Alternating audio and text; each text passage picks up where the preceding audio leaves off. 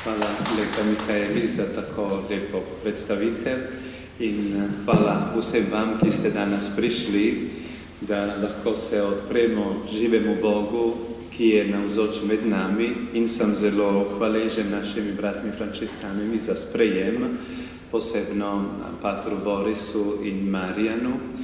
In uh, kot kristijani, vedno, ko se zberemo, imamo predvsem v naših srcih Božjo besedo, kjer so dva, dveh ali treh zbrani v mojem imenu, tam sem jaz. No? Vedno govorimo o našemu krstu kot enemu oknu, ki je odprto znotraj. No? Imamo eno okno. In ta je edina razlika izmed vseh drugih ljudi tukaj na svetu. No? In se mislite, ko se zberejo kristijani, imamo veliko okno, skozi katerega pride Božja milost, Božji blagoslov in to je realno, realna milost, ki nam se daruje. No? In sem zelo hvaležen, ker tako naša zbiranja v imenu Jezusa tudi daruje en vdih Svetega Duha v našem življenju, tudi enemu kraju, eni družini, kjer odprimo to okno za delovanje Svetega Duha. Zdaj bom začel na Hrvaške, ker se bolj izrazim. In hvala za vašo potrpežljivost.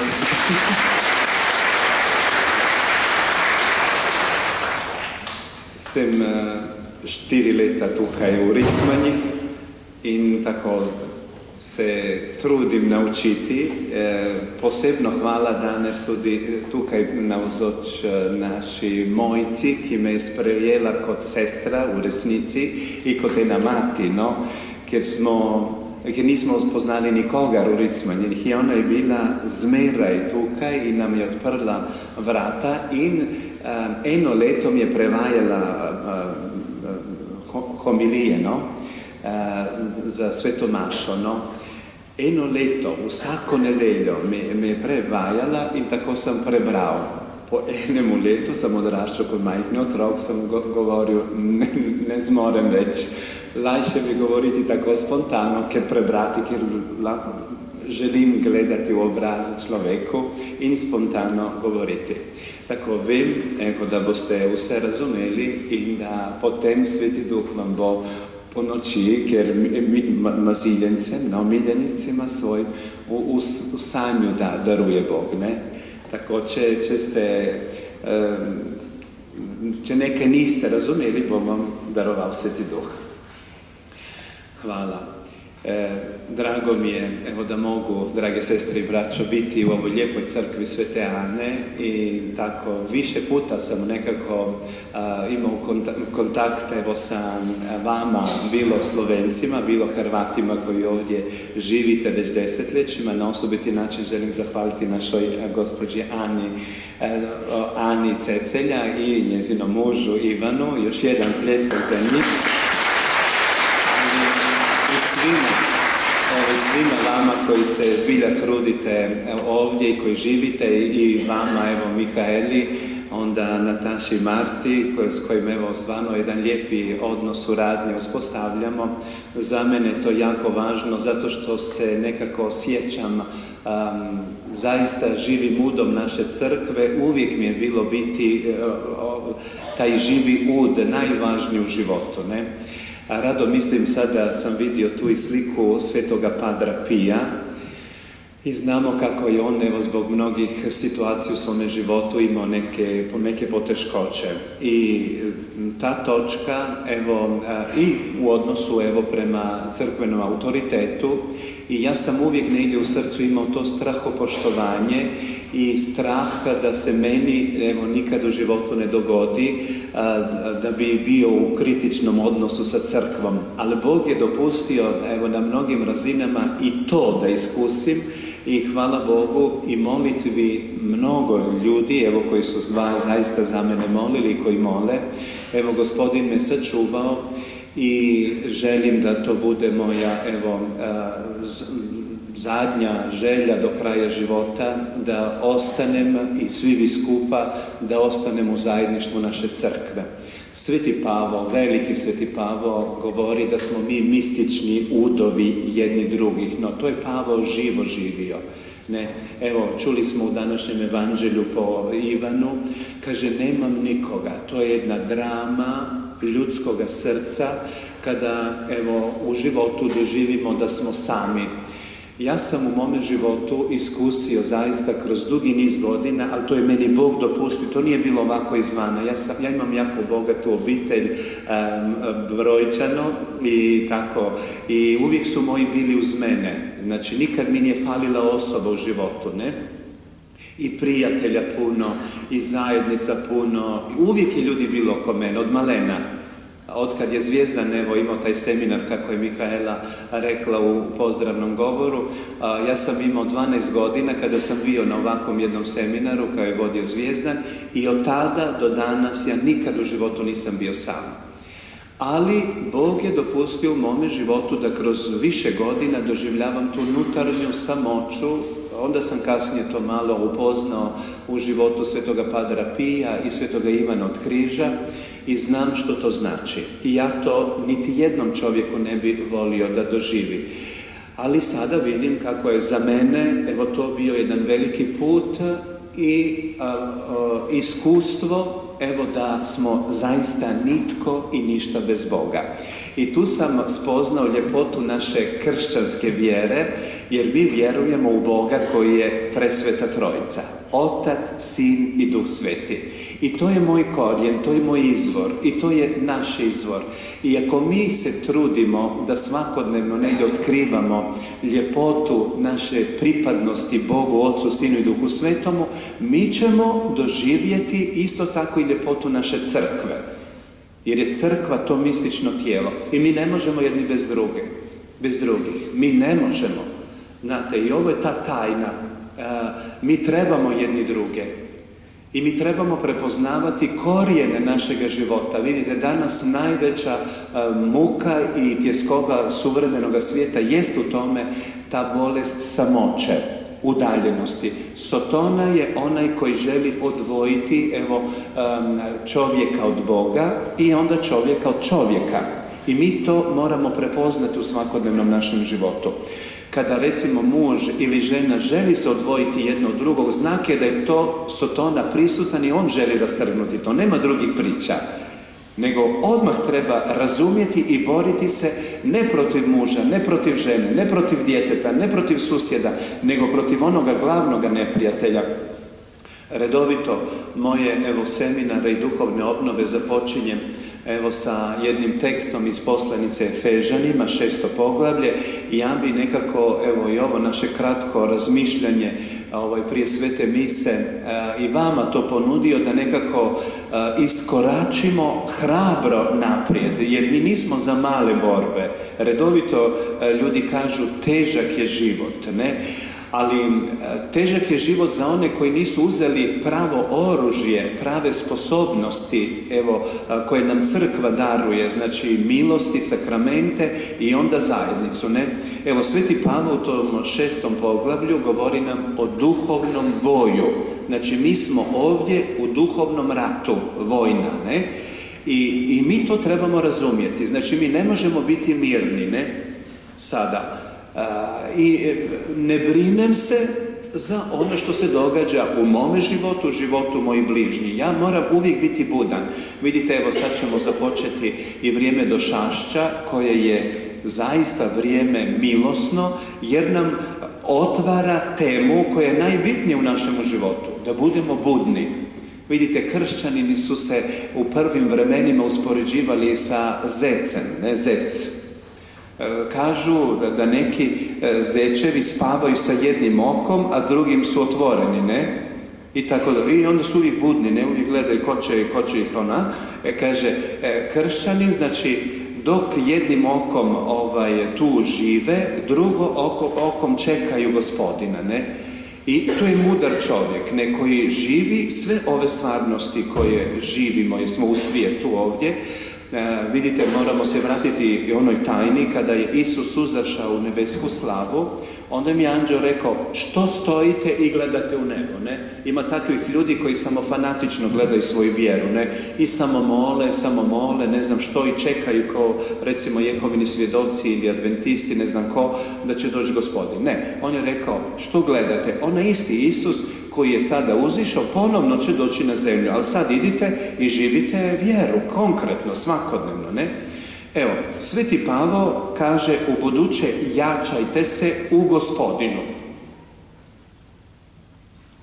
Vidite, zašto su potrebni ovi susreti, zašto je potrebna nedjeljna misa, zašto je potrebno čitanje Svetog pisma, da se jačamo u gospodinu, ne na drugim razinama. Sve drugo je potrebno i lijepo i imati i surađivati sa mnogim ljudima i sve to. Ali ako se ja ne jačam u gospodinu, moji korijeni su slabi. I ja ću u jako kratkom vremenu evo, doživljavati da moje, moje snage odlaze. Dok sam radio kao profesor u školi, to nekako mi je vrlo lijep i jednostavan primjer. Pitao sam moga kolegu profesora kad bi trebao izabrati između zraka i kruha, što bi prije izabrao? On kaže, pa kruh. Rekao, ti nećeš daleko stići u životu. ti si već sebe, sebi zatvorio put. Mi zrak trebamo 24 sata. I tu je naša snaga, naš život. A kruh ješćeš kad trebaš. I možeš pet puta dnevno i sve drugo što je povezano s kruhom, vjerujem da me razumijete, ne? Ali često puta Sotona nama zatvori oči uma i duha da stavljamo nebitne stvari kao bitne. I onda zaboravimo živjeti, zaboravimo najvažnije što nas čini sretnim i zadovoljnim i blagoslovljenim. Ne? Ako mi ne pratimo na naše korijene života, evo, redovito se vraćam na to, korijeni našega života je ljubav, vjera i povjerenje. Ako ovo, drage sestre i braćo, dragi koprani, ne razumijemo, mi ništa u svome životu kao kršćani i ljudi nismo razumjeli i naš je život prazan. Naš je život besmislen. Isus nam kaže, bez mene ne možete učiniti ništa. I ovo je vječna istina koji nam gospodin objavljuje i koju mi živimo zapravo. Znate, mi živimo. Evo, sada kao službeni egzorcist u biskupiji u Trstu okupljamo se na strojica tri puta tjedno, e, svakoga tjedna tri puta se sastanemo i molimo. I dolazi jedna mlada djevojka koju baka vlastita htjela ubiti i želi dan danas ubiti. I plaćaju se ne znam koliko tisuća eura da ona umre. Vlastita baka. I ja se pitam ona gdje je ta njezina ljudskost, gdje je njezino majčinstvo koje je nositeljica života, koja je čuvarica života, gdje se ona izokrenula unutra da ne voli svoga sina, vidite, jer ta majka je izvanredno ljubomorna na svoga sina i ona želi sve operacije napraviti oko svoga sina da bi ponovno svoga sina vratila u svoje krivo. I za nju smeta, znači, i njegova žena i njezina djeca. Vidite, ljubomora, ljubosumje, ljubomora je druga medalja za smrt. I tu nema priče. Čim prije ja to razumijem, ja čim prije želim se otvoriti životu. Jer ja, ako sam ja ljubomoran, ja sam okrenuo tu medalju zlomu i on najprije mene ubija. I onda počne ubijati druge. Znate, i ako mi to ne razumijemo, ja se ne mogu jačati u gospodinu. Vidite, ta osoba se jača u rupama, vlastitim rupama, no, uh, rupa, lukno, luknja, luk, ono, i ona i padaju, padaju u luknju i nikako izaći. Vidite kako je potrebno to zacijeliti, da Bog stavi svoju milost, evo kroz ispovjed, kroz Euharistiju, kroz zajedništvo. Ako ti nemaš ljude oko sebe, nikad nećeš upoznati svoje luknje. Nikada. Jer ti su unutra i živiš i pokrivaš, pokrivaš unutra. Ne, kada si ti u odnosu, onda se otkrivaju tvoje bolesti, moje bolesti i onda idemo naprijed, ne? I sada kad molimo za tu, izlazi bakino ime i sve što ona redovito radi. Svake nedjelje oni su krali hostije iz crkve, oni su klali mačke, svinje i sve to i, i krvlju, krvlju, evo tih životinja miješali sa hostijama i po njezinim slikama da ona umre, da ona nestane. Unuku svoju. Vidite, ako, ako, ako se na vrijeme ne uhvati nešto, znate, onda odgađaš i, sve, svoj blagoslov, svoje zdravlje. Evo, Sveti Pavano kaže, jačajte se u gospodinu i u silnoj snazi njegovoj. Silna je moć Božja. I mi, evo, približavajući se Isusu, mi se jačamo. I nema šanse da ti zlo e, da pristupi, recimo, i da, te, i da te uništi. Tebe, tvoj obitelj, tvoj blagoslov za budućnost. Bog je pobjedio Sotonu. Isus Krist svojom smrću je uništio Sotonu. Uništio je prokletstvo. Nama je Isus darovao puninu blagoslova. Sviti Pavo, evo u toj istoj poslanici kao zreo kršćanin, onaj koji je iskusio svu silinu, on kaže da smo od vječnosti blagoslovnje, od vječnosti izabrani. Sotona, znači demoni, kad molimo, evo zapovjedamo da kaže svoje ime, Sotona kaže, ja sam Bog, ona pripada meni. I to ne jednom, nego kroz mnogih osoba to Sotona govori. I sad zamislite, kada, kada recimo djed, kada baka, kada majka kaže, vrak te odnio, hudište otpeljao, no? Znači, Lasna mati je darovala hudiću svoj, svojega otroka in svojega unuka in svoga, svoga moža, ne, svojo ženo. In potem, ko pride k sebi, no, a gospod pomagaj, pomagaj, naj se vrne v cerkev, naj se, pri, naj se vrne družini in tako naprej. Ma sam si to naredil, no?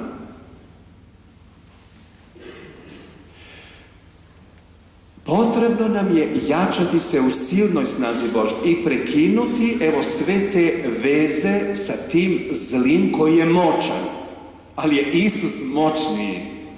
Isus je pobjedio. Mi ne smijemo se bojati Sotonu na krivi način.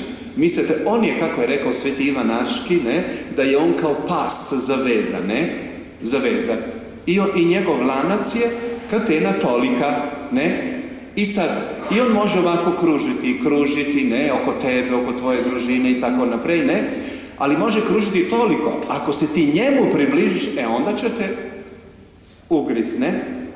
Evo, i Pavo kaže, obucite opremu Božju. I vidite koju opremu mi moramo spremiti na sebe, darovati. Istinom, obucite bedra istinom, obučite oklo pravednosti, opasati noge spremnošću za evanđelje mira, u svemu imati uza se štit vjere. Vidite, u svemu Pavo. Ne samo danas, sutra, za blagdane, nedjelju, ne znam kad, ne? Kad se dijete krsti ili kad neko umre, ne? U svemu imati uza se štit vjere. Znači, Sotona i neprijatelj, bilo direktno, bilo preko ljudi, stalno ti šalje strele, ne? Nećeš uspjeti, razbolit ćeš se, završit će život tako, tvoja obitelj će se raspasti. Koliko puta, evo nekako možda i unutra čujemo, ali i izvana. Samo mi trebamo narihtati naše uši da razumijemo kako i na koji način Sotona želi ugušiti u tebi vjeru, povjerenje i ljubav. Ne? Znači, u svemu imate uzasne štit vjere. Njime ćete moći ugasiti ognjene strijele zloga. Ne? Uzmite i kacigu spasenja, ne? Kacige rešitve. Ja sam spašen. I nema tu što brinuti. Mene je Isus spasio kad je On umro na križu. Kada je On darovao sebe. Ja sam spašen i ja sam slobodan. Vidite kako je ovo lijepo u ovom evanđelju. Tako je bila tradicija. Kaže, anđeo je ovako napravio u izvoru vode i prvi koji, kad je vidio da je anđeo došao i da se voda uzbivala, prvi koji je bio najbrži došao je tamo. Prestalo je to. Sada Isus dolazi i pita hoćeš li ozdraviti? Isus svakodnevno i meni i vama svakome kaže hoćeš li? Ja hoću te ozdraviti. Hoćeš li ti? Vidite, redovito kažemo ovako, Božja volja ovo, hoćeš li ozdraviti ovako kao kuka, ne? Kako se kaže? Kuka. Kljuka. Imaš kljuku.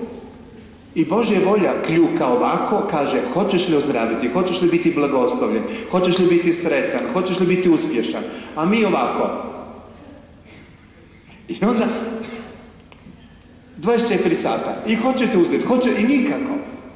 Mi kad kažemo hoću, budi volja tvoja, mi tako napravimo. E onda te ima i vodite u blagoslov, u sreću.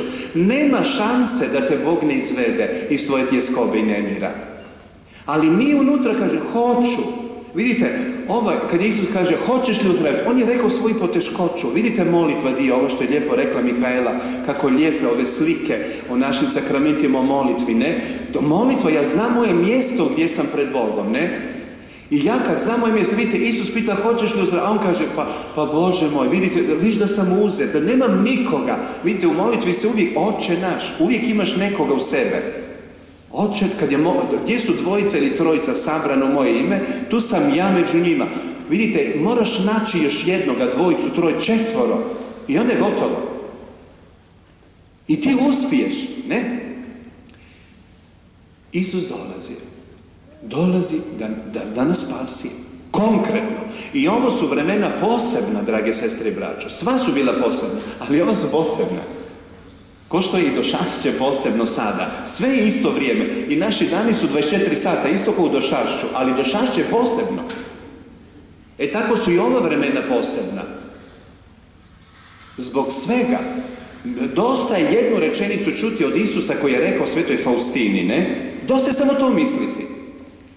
Tko me ne bude primio kao milosrdnog spasitelja, morat će me primiti kao strogoga suca. Tu je cijelo evanđelje, ne? Obratite se, vjerujte evanđelju, ne? I to je to. Ali on kaže, ko, sad je i slika, milo, i dvije zrake, krvi voda. To je sve nama ovako pruženo. Znate, e, Isus je zaista jaganjac Boži i on je čudovit.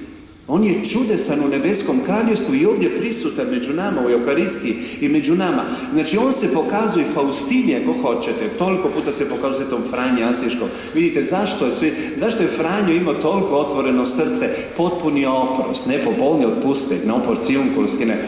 Sveti Frančišek je vidio da je Jezus usmiljenje, popolno usmiljenje.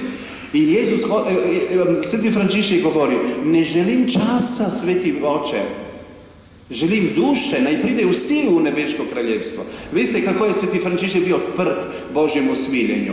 I porcijunkola je eno srce človeškega rodu, eno srce, ja sam čutio, dotik brezmjernega Božjega usmiljenja. Am tam, veste, in modrosti naše cerke zdaj je vse odprto v, v vseh cerkvah po svetu.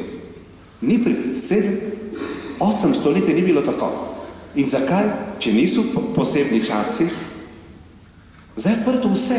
Vsaka crkva lahko sprejme popolno pustek. Na ta dan, dva dneva, ne? Veste, so posebni časi. Ne? Sem rešen. No? Potem onda uzmamo mač duha. Vidite, mi nismo kršćani samo koji onako primamo na sebe. Znate kako i kod mene i u mome rodnome mjestu i tako onda dalje. A Božja volja, trpljenje, Božja volja, to ne. To Božja volja nije. Kaže, pa sudbina, još kad je utjecaj muslimana, ne sudbina, ti si predodređen za trpljenje, no, e tu je sad ono, dolazi ono obiteljsko stablo. Nisi ti predodređen za patnju i bol. Tebe je Isus spasio po milosti krštenja i tebi su otvorena vrata Božega milosrđa i dobrote, ne? Vidite, i to je jedna stvarnost. I onda Isus kaže, nama Sveti Pavo kaže, darovan ti je mač duha. Znači, ne da ti uh, samo trpiš, trpiš na sebe, nego da napadneš Sotonu, da presjećeš oko sebe sve te prepreke. Ti moraš presjeći to Božjom riječju. Čime je Isus pobjedio Sotonu u, u pustinji? Riječju Božjom. Samo riječju Božjom. I onda na kraju ga je otjerao. Kad je konačno čuo Isus od Sotone, da mi se pokloniš, vidite, poklonstvo, klanjanje, molite, jedino živimo Bogu. Nikomu na tom svijetu. Nikomu. Nikomu se ne smijemo klanjati. Jedino živom u Bogu. Kada je Isus čuo to, kad se otkrilo posle to lice, kad je on sebe smatrao Bogom, on mu je rekao, odlazi. Vidite što mi moramo u sebi prepoznati kao našu originalnost, kao naš identitet pred Bogom jedni pred drugima. Da maknemo od sebe nekoga ko te želi napraviti sužnje, no, u ječu. Ne. I mi smo u tim vremenima, ko što su bili i prvi kršćani, ne? Vidite, Bog je jedan, e, znači mač duha, riječju Božjom pobjediti Sotonu. Evo, htio bi s vama, imamo još malo vremena, poslušati um, iz Evanđelja po, po Ivanu, treće poglavlje, o Nikodemu. Znate, ovo je premoćno i prevažno za nas u ovim vremenima, da shvatimo da se rodimo ponovno, da prihvatimo rođenje od vode i duha. Mi smo sve dobili po krštenju, znate. Krštenje je nama sve. To je korijen iz kojega mi izrastamo. I, e, ova presveta, presvetu mi, mi smo tada ucijepljeni na osobiti način u svetu obitelj presvete trojice. I onda, naravno, u crkvu. I mi nikad nismo, znate, meni mome tome kriznome razdoblju, kada sam doživljavao veliku krizu i tamnu noć moju, moga života, onda je meni unutra bila samo jedna molitva, gospodine, ne gledaj na naše grijehe, nego na vjeru svoje crkve. Znate, kak je meni ta molitva bila? To je, to je bio, vidite more, vidite more i ta molitva je meni bila mala lađa u kojoj sam ja mogao biti, a svugdje oluja i bura. Ta molitva, gospodine, ne gledaj na moje grijehe, ne gledaj na naše grijehe, nego na vjeru svoje crkve. Vidite koliki dana sada u ovome trenutku mole za nas ovdje. Cijela crkva moli. Papa moli, biskupi moli, svećenici mole. Toliki skriveni samostani redovnika, redovnica, svi oni mole za nas. Ko što i mi molimo za njih. Razumijete? Crkva, vjera crkve. Mi sad vidimo koliko puta i demon pita, a tko si ti? Nekad, ja sam grešnik, obični. Ne? I onda kad spominjemo vjeru crkve, znate kako mora ići i otići, ne? I nestati. Vjera crkve.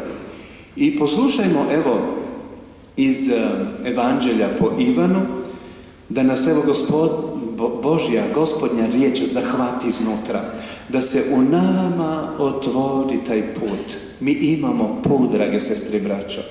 Toliki ljudi su zatvoreni, znate. Dolaze ljudi, kaže, kad, samo kad bi mogla plakati, samo kad bi mogao zaplakati, osjećaju pustinju sebi, kao da je zatvoreno sve, kao da je konac. Nema najgore za jednu ženu da ne živi osjećaj, ne? E, jednostavno, muka, muka, ne? Znači, Božja riječ nam daje da mi oživimo u našem duhu, u našim osjećajima, u našem tijelu i da počnemo živjeti život. Ne? Koliki ljudi danas se trude da ne, da, da ne, da ne iskaze, iskažuju svoje osjećaje, ne? To je krivo. Mi moramo živjeti ono što jesmo. Ali naši osjećaji, kao što ove žice, ne gitare, no, to su naši osjećaji. Ako gitara nije naštimana, tako i mi. Naši osjećaj treba biti narihtani, naštimani. E onda se čuje pjesma Božje slave, Božjega zdravlja, ne? Evo. Med farizeji pa je bio človek, im je bilo ime Nikodem. Bio je prvak med ljudi. Po noči je prišel k Jezusu in mu rekel, rabi, vemo, da si prišel od Boga kot učitelj, kaj ti nihče ne more delati teh znamenj, ki jih ti delaš, če ni Bog z njim. Jezus je odgovoril mu rekel, resnično, resnično povem ti, če se kdo ne rodi od zgoraj, ne more videti Božjega kraljevstva.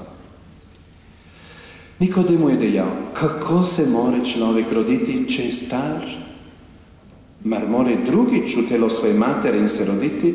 Jezus mi odgovoril, resnično, resnično povem ti, če se kdo ne rodi iz vode in duha, ne more priti v Božje kraljevstvo. Kar je rojeno iz mesa, je meso. In kar je rojeno iz duha, je duh. Ne čudi se, da sem ti rekel, morate se roditi od zgoraj. Veter veje, koder hoče, njegov glas slišiš, pa ne veš, odhod prihaja in kam gre. Tako je z vsakim, ki je rojen iz duha. To je Božja beseda. Bogu hvala. Veste, Nikodem no, je prvak med ljudi. Mm. Imel zelo veliko odgovornost. in je bio poznat. In se je zasramoval priti ob dnevu Jezusu. Je prišel po noči, stidio se doći danju k Isusu. Stidio se, jer je bio prvak, bio odgovoran, ne? imao svoj obraz, ne? Svoju reputaciju, sramio se, još nije napravio nešto. Neke korake iznutra nije napravio. Borio se, e, ljudski obzir, ne? Imao je e, svoju stečevinu i nije mogao još razumjeti. Sram ga je bilo. Evo, doći do Isusa po danu, nije htio da ga drugi vide. Evo, koliki, recimo, u našim krajevima ovaj, su trpjeli od komunizma, no i ovdje, nažalost, evo, u ovom samostanu, koliko žrtve je bilo, ne? I kod nas isto. Znate, koliki su meni došli se ispovijedati, kaže pater, ja sam bio liječnik, bio sam prosvjetni djelatnik, djecu smo krstili po skrivečki, ne? To su sve bile rane našega društva. I hvala Bogu da su tako barem, ne? Hvala Bogu da je Nikodem došao po noći. Jer da nije bilo Nikodama ne bi ni razumjeli mnoge stvari koje Isus evo otkrio. Za mene, za mene kao čovjeku i kao svećenik ovo je jedan od bitnih evo tekstova za razumijevanje mnogih pokreta, pokreta u današnjem svijetu, filozofija, ne? I on govori o toj istini. Učitelju, znamo da si, da si došao od Boga. On je znao da je Isus poseban čovjek i da je učitelj i da čini čudesa i znamenja što nitko drugi ne čini. Vidite koliko je on razmišlja o Isusu, ne, a živio u tom sinedriju, živio je to, um, dijelio svaki dan te situacije, njegovo je srce gorjelo za Isusom. Nije, nije mogao iskoračiti jedan korak naprijed. I mora doći po noći. Vidite, kako te milost ne da zaustaviti. Ili ćeš biti potpuno ili nećeš. Ne? će ne mora delati ta znamenja, ki ti delaš, če ni Bog s njim. On je znao da je Bog s njim. Znao je. Vidite, sve to bilo pripremljeno, ne? I Isus mu kaže, zaista, zaista ti kažem, ako se nanovo ne rodite od ozgor, iz vode i duha, ne možete vidjeti kraljestvo Bože. Znači, kraljestvo se Božje može vidjeti, drage sestre i braće. Ovo je, ovo je predivno. Kada su prvi kršćani vidjeli kako se kršćani ljube, odnosno ljudi, kada su vidjeli kršćani kako se ljube, oni su vidjeli, evo to je, to je pravi kršćan, vidite kako se vole. Oni su kušali Bože kraljevstvo. I vidi se kraljevstvo Božje, osjeti se Bože kraljevstvo i vidi se realno. Evo, znači, ko, treba se roditi, ne, ne možeš vidjeti. Vidite, dijete kad je u utrobi, svi smo mi bili u krilu svoje majke. I mi smo sve osjećali. Da nas majka dotiče, kako se otac odnosio prema majci, prema nama. Svi smo mi to nosili u sebi. I, i mi smo osjećali sve, ali nismo vidjeli, niš nismo vidjeli. Evo, dijete se rodi, rodi iz zatvorenih očiju, ne? I kad se rodi, ono počne otvarati oči. Ovo je jako važno za duhovnost našu kršćansku. Vidite i zašto Isus pomazuje oči slijepomu, evo, i, i sve ozdravlja. To je veliki hod naše vjere. Znači, trebamo skinuti sve ljuske, ono što se svetom Pavlu dogodilo. Da su pale ljuske s oči. Kad je vidio Isus i čuo glas, zašto me progoniš? No, njemu su pale ljuske. I Isus o tome govori. Morate vi, mi možemo vidjeti. Mi da danas odlučimo, Isuse, ja želim vidjeti kraljestvo Božje. I ovo je put, evo, novoga rođenja. Novoga, iz vode i duha sveta. Vidite, kad je dijete u utrobi, majke, ono je u vodi, ne? Vi koji ste majke, vi znate.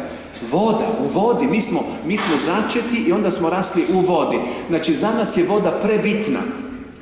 Mi smo, recimo, i kako kažu, 70% voda, Znači, mi smo bitno povezani sa vodom. Isus kaže, pa ja vas poznam, vi ne možete živjeti, živjeti ako, ako nemate vode duha svetoga. Vaš je život mrtav.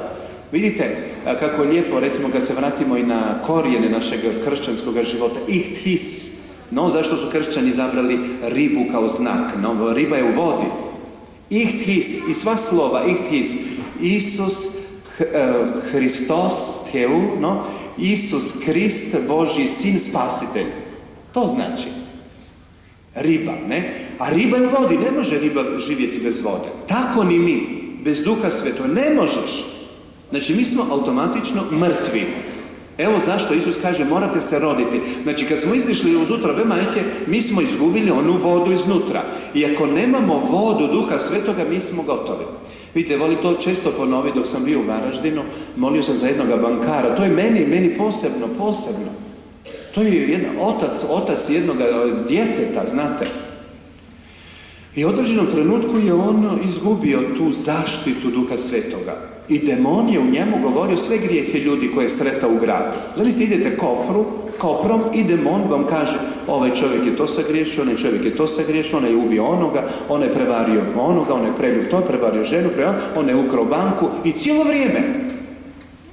I on kad došao doma, ono bombardiranje, ne? Došao doma i sestri kaže, ti si to sagriješio. Demon, demon zna ono zlo. I sad zamislite taj čovjek koliko je bio bez zaštite. On nije mogao u tim trenutima misliti, trenucima misliti kako je lijepo nebo, kako su lijepe zvijezde, kako je lijepo more, gradovo. Nije to mogao misliti. Nego mu je on otvorio ovo. Vidite što nama se to... Evo vidite oči kada su se griješili u neposluhu i okolosti Adam i Eva. Koje oči im je otvorio? Ti si zagriješila, ti si krivovono. To su sve oči zloga i mi to moramo zatvoriti, ne? E, i ja sam to razumio kada čovjek ima duha svetoga, zaštitu. Onda imaš plašt, vidite, postali su goli Adam i Eva, oni su izgubili zaštitu, izgubili su duha svetoga. A duh sveti se dobiva kroz slušanje Božje riječi i kroz unutarnje ozdravljenje. Nema drugog puta. A budući da su to na ima naočale, da jasno vidi gdje je neposluh, gdje je oholost i odmah to hvati, jer je on magnet. On je apsolutni magnet i kad vidi u tebi neposluh i oholost, odmah se zalijepi za tebe.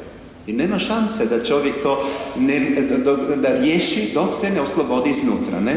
Evo, idemo korak dalje. Znači, Isus govori, ne možete vidjeti kraljevstvo Bože. I onda on ne razumije, kaže, pa šta, za mogu ja kao star se ponovno roditi? Da, i ti kao star se možeš roditi. I ti se možeš roditi, nemoj govoriti da si star, da si u godinama. Jednom zgodom ovaj, u Ogolinu, tamo je bio jedan Franjevac i on je imao tako duhovnu obnovu i tako. I oni su molili e, za, za, za izlijed duha svetoga da, da dobiju dar jezika, ne molitve u jeziku. I tako su molili, molili. I jedna baka, jedna stara žena je dobila dar jezika. I ona je počela, počela vikati, iznenada ne. A, i, on, I nije mogla kontrolirati to u sebi. Ona kaže, a, a ovaj Jerko se zvao, kaže, furaj bako, to ti je dobro. nije, nije razumjela, evo, vidite, idi naprijed, nemoj govoriti star sam, vidite ono što na početku rekao Jeremi, Jeremi, nemoj govoriti da si dijete, nemoj se ispričavati, nemoj se zatvarati, idi naprijed. Vidite, Nikodem je rekao star sam, zar se mora ponovno vratiti u krilo majke. Vidite ovo, vratiti se, reinkarnacija, vratiti se u krilo majke. Ne možeš se više vratiti u krilo majke. Molili smo egzorcizme za jednu mladu djevojku iz, iz Zagreba.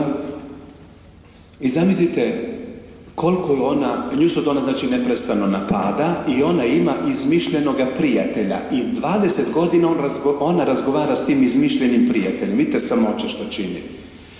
I ona nije svjesna, razumijete, da je ona ušla u, u save sa Sotonom. I ona tvrdi da je ona trudna, da ima plodnu vodu i sve te stvari. I koliko puta je završila u bolnicu na psihijatri, cijela obitelj je izvan sebe. I ona govori da je trudna i sve to. I, i ludnica, ne?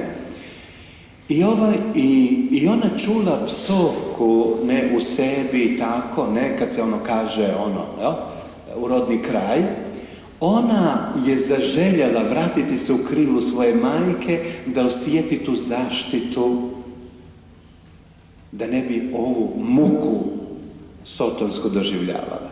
Zamislite, ona se uhvatila za psovku i zaželjela je da se vrati tamo. Vidite koja je subtilnost zloga. Dragi sestri i braćo, trebamo moliti, trebamo čitati sveto pismo. Ja vas potičem, evo, za osnivanje zajednice, zdrave zajednice, na temelju Božje riječi. Molite u svojim kućama, molite, čitajte Božju riječ.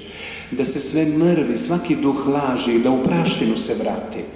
Istina ostaje. Isus kaže, Isus kaže, nebo će i zemlja proći, ali moje riječi neće proći. Ovo jeste zauvijek. Ne? Mi trebamo ići naprijed. Vidite, prvo Isus kaže, ne, morate vidjeti onda nakon što mu je rekao, ne možeš ući u utrobu ti moraš ići naprijed. Ti se moraš nanovo roditi, novo rođenje. Znači, to znači da se otvoriš. Znate, meni je prelijepa slika i događaj Svetog Franja Asiškoga, ne? Sveti Franju zaista veliki, veliki, u Božjim očima, u životu crkve i svih nas veliki primjer. Znate, mi znamo kada je Bog ušao u njegov život i kada ga je pozvao, Franju, idi popravi mi crkvu, Franjo je odlučio odmah popraviti crkvu, njegovu crkvu, rane crkve, problemi, ne? I, I kada je se otac njegov bunio, protivio se njemu što tako čini, jer je počeo gubiti sina na sebičnoj razini, ne? Jer je ono htio da on bude trgovac, on je htio da mu bude kao one, a Franjo doživljava dostojanstvo Božjega sina. Novo, on se nanovo rodi, on se, on se rađao od kad je čuo Isusov glas preko služenja gubavcima i tako, on se rađao, ne? I na kraju na trgu u Asizu on skida sve sa sebe, sve robu, odjeću. I što je rekao? Evo tebi Pietro Bernardone, to je tvoje. Ti više nemaš vlast nadamnom, ja sam gol. Ovo je procvalo krštenje u Franje. Ovo je, drage sestre i braće. Mi ovo moramo doživjeti. To znači roditi se nanovo od ozgor. I Franjo, i to je prelijepo ako ste gledali film Zefirelija, kako ga biskup zaogrče plaštem. Znači tada, kada je Franjo bio potpuno izložen ovome svijetu, kada je se raskinuo zadnja nit, znate ono što smo mi pupčanom opnom bili sa majkom, ne? I kada se to zadnje odsjeće, mi smo onda slobodni, ne? Tako i Franjo bio. Zadnje to što ga je vezalo za svojim ocem. E tada ga je crkva zagrlila. I tada postaje na u punim plućima, s punom moći Boži sin, sin crkve. Njemu je sada crkva postala majka, majka koja ga grli, koja ga prima. Mi smo tako primljeni u krilu majke crkve kada smo kršteni. To ne znači da ja gazim po roditeljima, po mojim, po mojim dragima. Ne, još, još više ih volim. Ali oni ne mogu mene daviti i, i gušiti sve ono što mi je Bog dao. Ne, veliki, evo Papa Ivan II je rekao roditeljima, roditelji, vidite što vam je Bog poručio u vašemu djetetu, što vam, je, što vam je dao, koga vam je dao. To ne znači da ga vi ugušite, ne? Da ga vi maltretirate, uvjetujete. Nego svatko ima, evo, vlastitu ljepotu, odgovornost, ne? Za sve primljene milosti. I tako, evo, Isus kaže, ne? E, Če se ne rodi iz vode duha, ne more priti u Božje kraljevstvo. Vidite, ovo, ovo, ovo je to. Ne? Ako ja se ne rodim, ja ne mogu ući u, u kraljevstvo Bože. Vidite, mi smo sad svi u crkvi. Ja mogu vidjeti crkvu izvana i ništa ne zna što se događa unutra.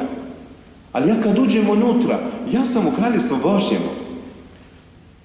Ja, u njemu smo, mi ćemo se i jesmo, kaže Sveti Pavlo. Ja sam unutra, ja sam zaštićen i ne može mi nitko ništa. Jer moj Bog, koji je otac i majka, oni su me zaogrnuli svojom nježnošću i svojim autoritetom. Ja se ne bojim. Strah je u meni pobjeđen. Na, I onda ulazimo u to Božje i onda počnemo disati Božju slavu, Božju sigurnost. Onda, onda vidimo taj jedinstveni Božji put. Evo tu je naša, naša moć u Bogu i s Bogom. I onda prepoznamo jedni druge. Prepoznamo jedni druge. I vidite, i onda kaže, Isus razotkriva, onda kasnije kao krunu daje što je od tijela rođeno tijelo je. Što je od duha rođeno duh je. Vidite, sve ono što se ne rodi na novo propada. Evo zato i nama kao bratstvu, kleričkom bratstvu i zajednici našoj, bilo laičko, bilo sestrinsko, da, povjerena nam je milost, evo, da mi po Marinim rukama predamo naše životi sve što jesmo. Ono što prođe kroz Marinih ruku, to gospodin prima sa novom svjetlošću. I to biva zaogrnuto uskrsnućem, duhom. Sve ono što ne predamo ostane negdje i propada. Sve ono što mi darujemo, osobu, situacije, sve to bude zaogrnuto dahom Božim.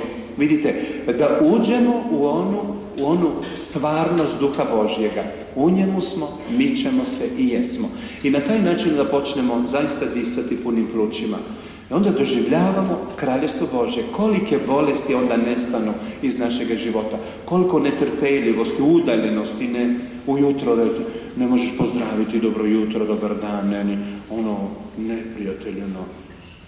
Ne, kad ti uđeš u to, ti, ti nosiš to svjetlo, nosiš i onda daruješ i on ne možeš drugačije, ne možeš drugačije. Vidite, sunce ne može drugačije nego li grijati i osvjetljivati. E tako jedan kršćan. Ako je jedna svijeća upaljena, ona je upaljena i ona rasvjetljuje i grije. Evo tu je naš život. Vidite, Isus kaže nemojte ući u propadljivo. Vi ste pozvani da budete nepropadljivi, da zauvijek ostanete, ne? I onda daje evo tu sliku, vjetar puše gdje hoće. Čuješ mu šum, a ne znaš kamo ide.